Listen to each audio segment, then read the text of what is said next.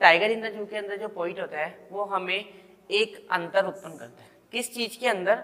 जू वाले टाइगर में और एक जंगल के टाइगर में। एक जू का टाइगर किस प्रकार का होता है? एक जंगल का टाइगर किस प्रकार का होता है?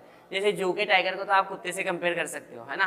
कैसा होता है? पिंजरे के अंदर पेक है इधर उधर जा नहीं सकता, कुछ गुर्रा नहीं सकता, दहाड़ नहीं सकता, है ना? हमें डरा ही नहीं सकता है। हम उसके बिल्कुल पास में खड़े होते हैं। और एक जंगल में टाइगर दूर से भी दिख जाता है ना तो हम गायब हो जाते हैं। तो दोनों में बहुत फ़र्क है। तो उन दोनों जो के जो फ़र्क है ना, और उन दोनों में किस प्रकार से टाइगर होते हैं, उसके बारे में यहाँ पर इसमें बताया गया है।